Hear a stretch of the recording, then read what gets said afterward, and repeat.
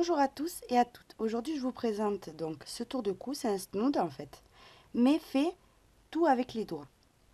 Donc en fait, il est ultra simple à réaliser.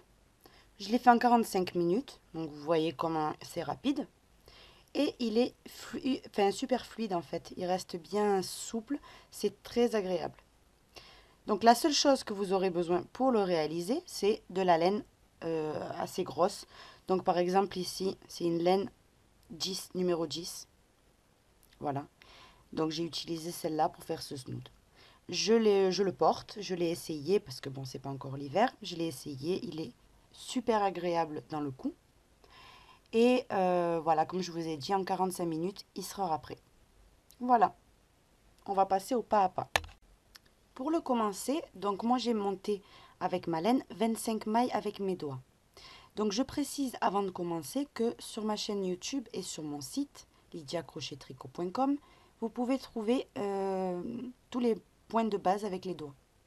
Donc ça c'est super pour apprendre aux enfants par exemple, si vous voulez, enfin s'ils ont du mal avec un crochet ou voilà, euh, comment crocheter avec les doigts. Voilà, ça les occupera et franchement c'est bien. Même moi, euh, à mon âge, je porte des vêtements faits avec mes doigts. Voilà. Donc on va commencer par prendre son fil, tourner le fil sur le doigt et commencer à faire notre chaînette.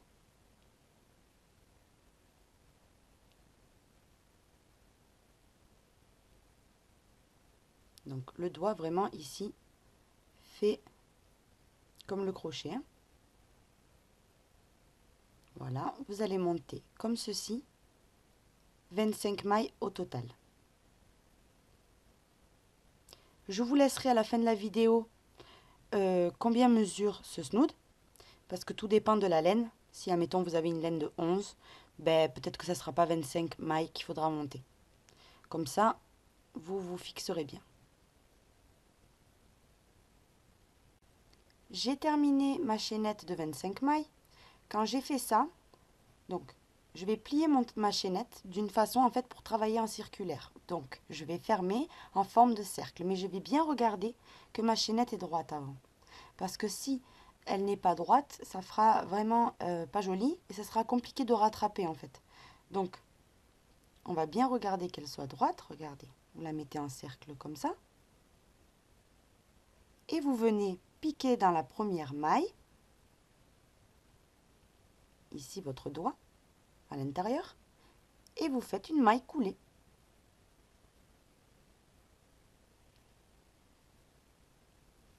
Voilà. Donc de cette façon, on a uni. Une fois qu'on a uni, on va monter. Donc on va travailler en circulaire. On va monter avec une maille en l'air. Regardez. Je prends le fil et je le ressors à travers la boucle. Une maille en l'air. Immédiatement dans cette maille, vous allez faire une maille serrée. Donc, une maille serrée, vous piquez dedans, vous ressortez votre fil, vous avez deux boucles sur votre doigt. Vous refaites un jeté et vous passez à travers ces deux boucles. Quand on a fait cette maille serrée là, on va marquer cette maille serrée puisque on travaille en circulaire, n'oubliez pas. Donc du coup la marque, moi j'utilise une boucle d'oreille, mais vous pouvez utiliser des marqueurs, enfin ce que vous voulez. Hein pour euh, délimiter. Une fois que j'ai marqué ma maille serrée, je vais continuer en faisant tout mon rang en maille serrée. Donc, c'est-à-dire, je pique dans ma maille, je ressors le fil, je, je, fais un jeté, je récupère mon fil, je le passe à travers mes deux boucles. Vous allez voir, au pire des cas, ça va être un peu compliqué pendant 5 minutes. Mais au bout de 5 minutes, il n'y a plus de problème. Vous allez aller super vite.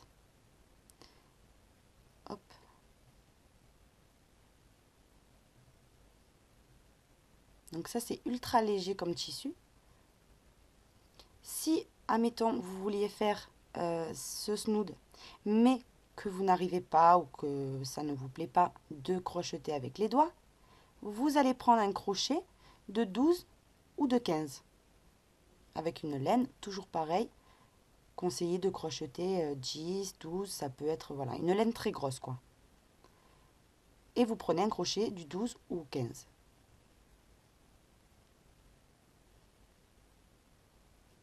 Vous allez continuer en faisant tout le tour de cette façon.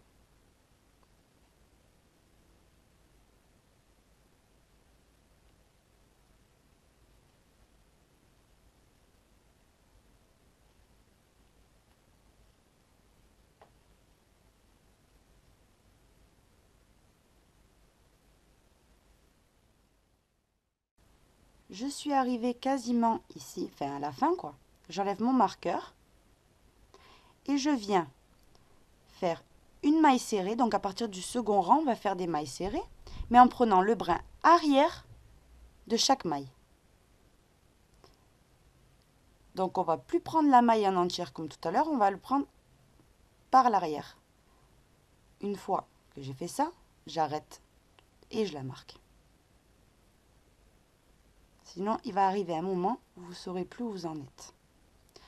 Donc, n'oubliez pas, vous continuez en prenant toujours le brin arrière de la maille.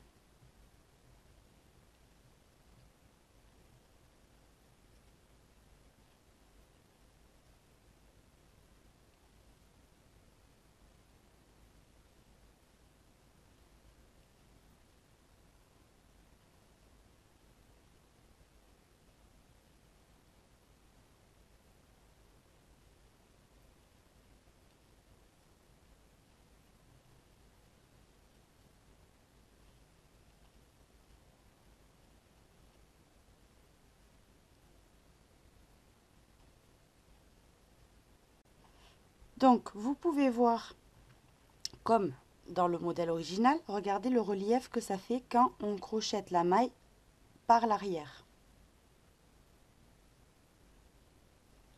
C'est vraiment super joli.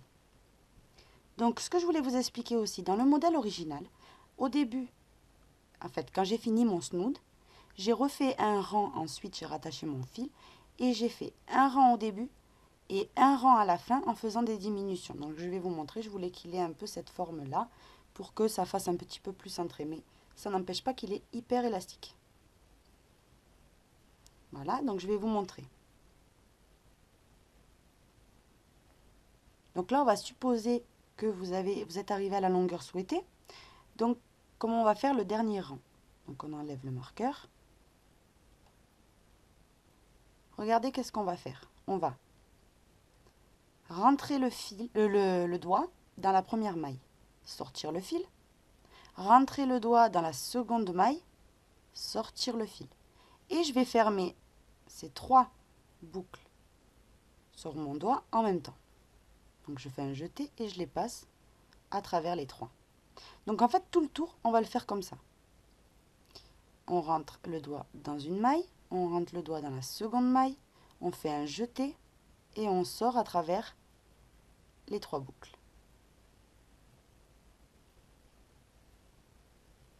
Voilà. Donc vous allez continuer comme ça. Et à la fin, en fait, vous rattacherez le fil. Alors, attendez. Je finis cette diminution. Voilà. En fait, à la fin, vous rattacherez le fil ici en bas. Et vous ferez le même tour. Ce qui fera une jolie finition ici on a commencé. Donc on va le refaire encore une fois. Je vais être sûre que vous ayez bien compris. Donc on rentre le fil dans une maille, le doigt dans la maille, pardon, on ressort le fil. On rentre dans la seconde maille, on ressort le fil et on ferme les trois en même temps. Et vous allez continuer à faire tout votre tour de cette façon.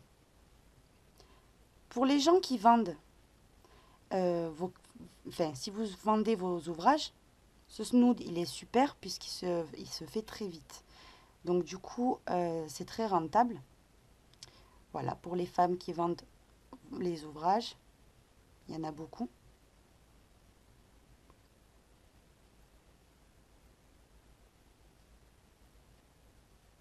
Voilà, donc vous allez continuer jusqu'à la fin ce rang-là Ensuite, vous allez rattacher le fil et vous allez faire un rang aussi au commencement de la même façon et vous aurez terminé votre snood qui est très très très agréable à porter. Voici les filles. On va mesurer ce snood ensemble. Je vais vous donner les mesures comme promis. Donc il fait 33 cm d'auteur. Donc 33 cm, mais vu qu'il s'étire, on peut aller jusqu'à 40 cm. Facilement. Voilà. Et de largeur. Donc on va le positionner comme il faut. Il fait 30 cm. Voilà. Donc en fait, bon là j'ai bien tiré, donc 30 cm. Et puis si vous tirez comme il faut ici, vous le mettez bien droit, il fait 40 cm. Donc 40 cm d'auteur, 30 cm de largeur. Vous allez voir comme il est agréable à porter ainsi qu'à crocheter. Voilà, bon crochet donc j'espère que ce petit tuto vous aura plu. C'était un tuto euh, de Snood euh, Express, que je vais l'appeler. Et euh, si cela vous a plu, je vous invite à vous abonner et à visiter mon site lydiacrochettricot.com. À bientôt